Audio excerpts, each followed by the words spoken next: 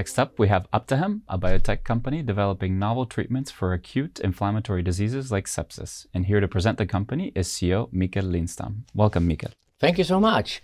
And thank you, all viewers, to being here today.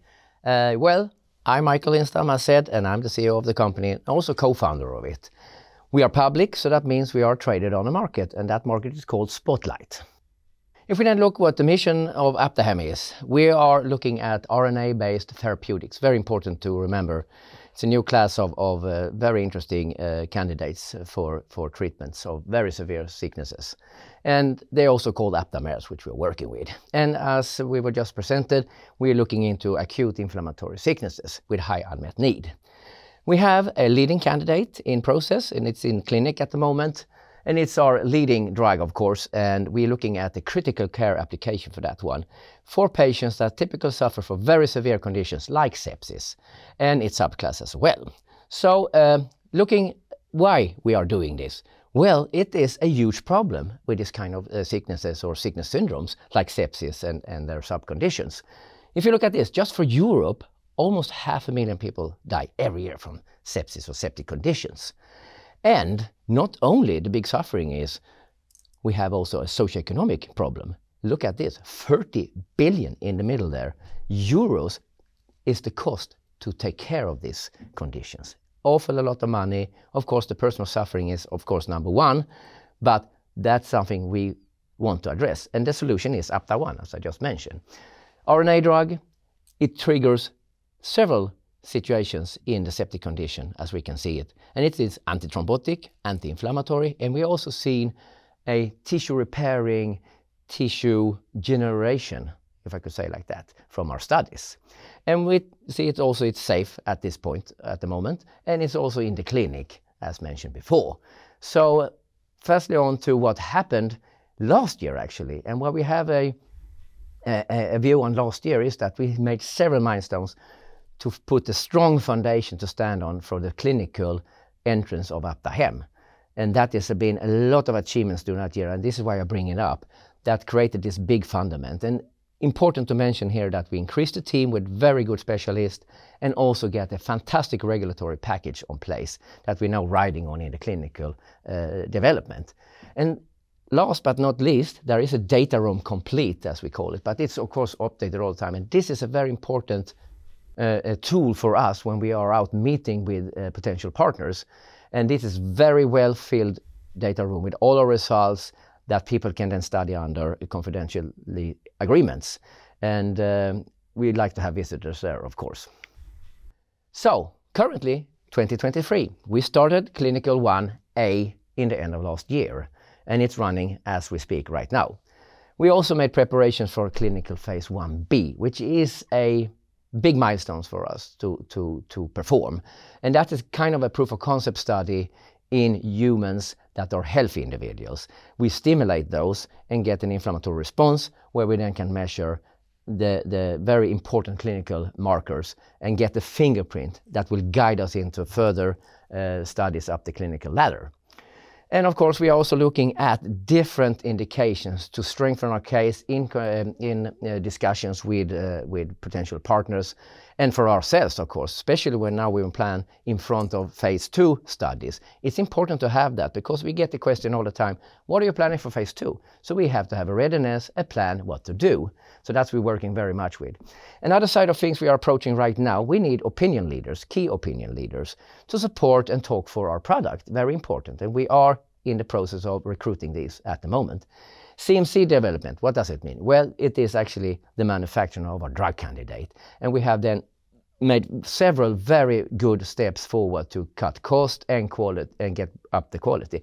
But we are not stopping there. We are continuing with looking at new methods, potential new patent uh, uh, matter, and also to, of course, reduce the cost for the manufacturing, which is an important, or I would say crucial part for a potential partner to see that costs are in within um, uh, reasonable uh, uh, sphere. Because to make a product to the market, you need to have your upside and, and, and, uh, and make some money on this. That's the crucial world we live in when you're seeking a partner and go to the market. Anyway, least here, uh, or not least, but most, but last, scientific collaboration. It has been a key point in our development of APTA1 and actually been really important when we have uh, evolved the mechanism of action for APTA1. So that's very important parts, and we still work with them, so looking forward to more results ahead of us. Well, I mentioned RNA therapeutic, and we have aptamers. I will not go through this, but the aptamers can be built by either an RNA segment or a DNA segment, and we have RNA segments. And if you look at the middle down, you see Lego pieces. That's more or less what's happening here when we're building um, a new uh, therapeutic candidate around a medical target. Then we can build step by step. And that means we can really tailor the function of a candidate on this uh, specific uh, medical target and targets that no one have been able to address before. So it's a fantastic uh, um, method to, to approach new medical targets or getting more efficient targets. Well, anyway, so we're getting into the big business now with what Aptahem's doing, and Apta One is actually going into the bloodstream. It's an IV solution. And in the bloodstream, we have something called hemostasis. And hemostasis is the system to stabilize and balance everything happening in the body, inflammatory here and there. And here we have, if you look in the middle, the co coagulation cascade, and there you see under the coagulation cascade thrombin. Thrombin is a coagulation factor, which is a key component at inflammatory response. It gets released only at an inflammatory response. And this is where Apta-1 goes in to modulate, inhibit, etc., what we would like to call it. And then we inhibit the platelet activation, which is an important and a key feature to drive inflammatory process in the body. But more about that uh, in another slide. And here you see the platelet on the left. It triggers a lot of different inflammatory uh, situations here, and I will not go through it, but it's, it's the center of driving this process, I can say. And here in this central driving process, we have Apta-1. If you look at the left, you see thrombin again. We are back there we go in and inhibit the activation of these platelets by docking in on only one point of thrombin, and it's the lower part that's called exosite 2. We only dock in there. As a comparison for a typical anticoagulants, they will dock in on other sites. If you look at the Mickey Mouse uh, ears there, you can see to the left and the right there are active site and exosite 1. These usually get also inhibited by an anticoagulant, and the effect is that you overthrow the hemostasis a bit, and that means you get, for example, a bleeding effect, which we don't see with APTA1. By doing this, we get a very efficient inhibition of this platelet generation. We kind of stop that, and we have an immediate antithrombotic, anti-inflammatory response with a kept hemostasis. It's a fantastic combination, actually. So everything looks good so far. So we will continue with the next slide and look at who are the benefiters here? What are our stakeholders? Well, we have three parties at with. We have the ICU physicians. They want to save lives. We have society. You remember the 30 billion euros per year. It's a huge money to save.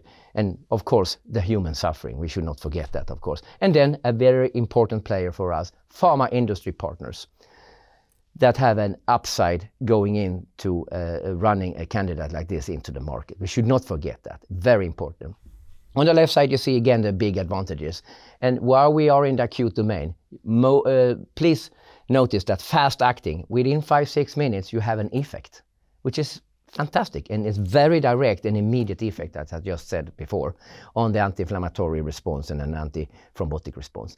We also have uh, some candidates. We have our main candidate, as I just presented before. We have two more candidates, uh, aptamers here, and they are protected in a patent family 1, which protects the structures.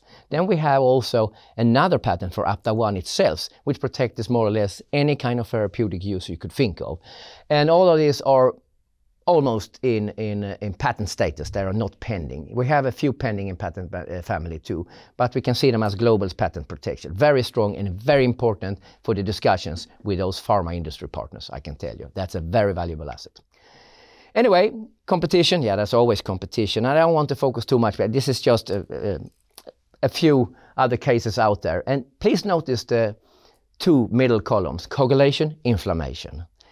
If you notice this, you see that the competition focuses on either this or that side of uh, the events going on in the body. Look at Apta-1 on the bottom. We have both sides, antithrombotic and anti-inflammation uh, possibility here. And by that, we give up to a really good potential to cover much bigger patient population, and by that also have a, a wider market to reach. So we here have a best-in-class potential for sure.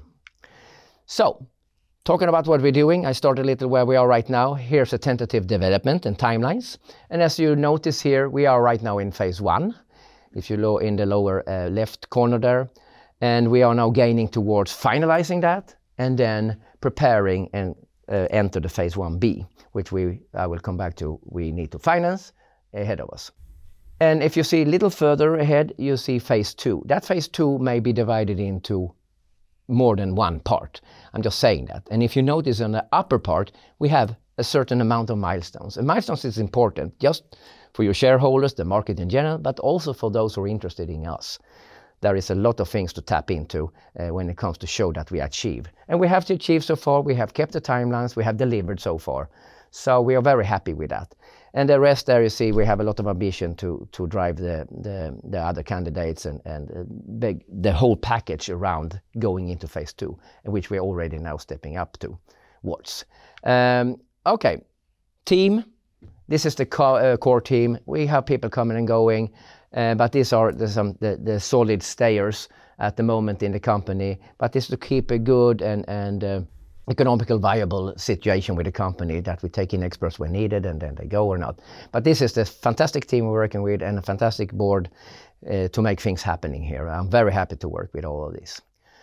Um, as I mentioned, we need to look for some additional money to continue to keep the pace in our uh, uh, development uh, and to continue to reach those milestones I just talked about. We have a share emission now that will be under two weeks from mid, mid June, 14 to 28 June.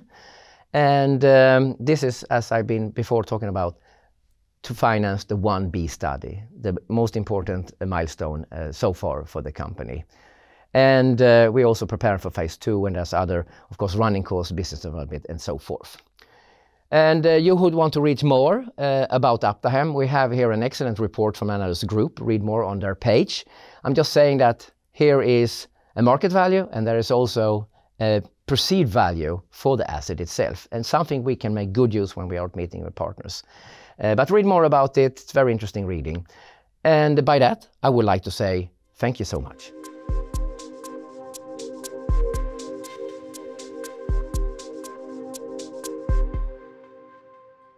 Mikael, uh, you, you talked about the rights issue that is coming up. Yeah.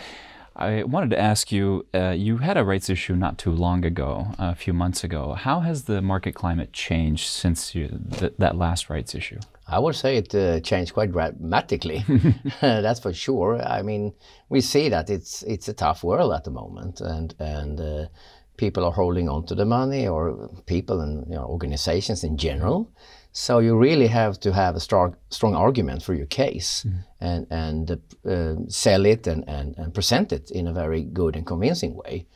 And uh, with Apta One, I mean, we have a very good case. So, you know, it's about uh, the willingness of, of going into to investments at the moment. And we are looking into all kinds of, of scenarios there, of course. Mm. So, but uh, it's definitely changed. So, and we are looking at an, a share emission now to, to, to start soon. So, yeah. yeah. And uh, speaking of this new share emission, how will those funds be allocated exactly? Well, the funds, uh, if uh, fully subscribed, of course, uh, will make us keep our our speed and our tempo in the clinical development and also the, the, the forwardness of the company. There's other things happening as well that we need to push. But the, the main thing here is to uh, enable uh, one beta study and get that milestone in the bag, mm-hmm. of course. So that's the main thing. And otherwise, it's it's um, running cost, of course, business development. Uh, there are uh, there's normal costs with patents and and uh, and some you know we have collaborations. So, but the main thing is one beta uh, study that is on our focus. So that's that's our main goal. Mm-hmm. That, that's the the lion part of the money will go for for sure. Well, and speaking of the uh, the the one B study, uh, now that you are in in phase one, how has the industry reacted towards Aptahem reaching phase one and now moving into phase 1B? Uh, you said you're also looking for key opinion leaders. Uh, tell me a little bit more about the market reaction there the market reaction have been good. I mean, if you look at the professional side of market mm-hmm. reaction, and and uh, of course, getting into clinic, it's a milestone, mm-hmm. and it is positive. But you know, uh, most wants more, mm-hmm. of course, and this is why we want to run this. Uh, that's one part we want to run a one beta study, uh, as well as for ourselves uh, de-risk the project uh, as early as possible to see where we can go in the next steps and, and make a very lean and, and successful phase two and so on, of course. And, and uh, the reaction in general making a one beta is that we have an, as, as, an early proof of concept that you could ask for, even if it's not in patients. And that has been welcomed by many that I meet. So, so this is kind of a, consolidating that that that this is the right move to make. Mm-hmm. So this is why we're focusing on this. Uh, there are several reasons, and, and they are all good. Mm-hmm. Yeah. Well, and finally, uh, what are the main goals for Aptahem uh, here in 2023 as you look forward to these next milestones? Well, it's again, I have to revert to the one beta study, of course, but uh, you know, the preparation for phase two and already now knowing where we could tap into or go. And of course, there's a lot of regulatory work I mentioned during the, my, my presentation here mm-hmm. that it takes a lot of preparations regulatory. Uh, and with the phase two, it will be even more mm-hmm. preparations, of course. So, and otherwise, we have our scientific collaborations. Uh, we have other things in preparation that we could be seen as milestones for the company, as I just mentioned here mm-hmm. um, some minutes ago. Uh, just this is one B focus, and of course business development. Mm-hmm. That's my that's my main goal as a, as a CEO of a company to go out and, and look at. And, and there's a lot of interest and more diverse nowadays. Mm-hmm. And and coming back from an event in US, specifically on oligos and RNA and aptamers and all that, uh, seems that there are a very positive vibe in this field. And and uh, as as uh, chemical entities for for therapeutics, uh, I think that's a big belief, and and uh, the other markets have kind of been exhausted. Let's say like that. So mm. so there's a lot of things happening. So I think we are in the right spot as a company running RNA therapeutics in case of the aptamers. I would say so. Mm-hmm. Yeah. Sounds very good, and uh, thank you so much for joining us for this event. And uh, we look forward to seeing you at the next one. Thank you so much. Looking forward to that. Mm-hmm.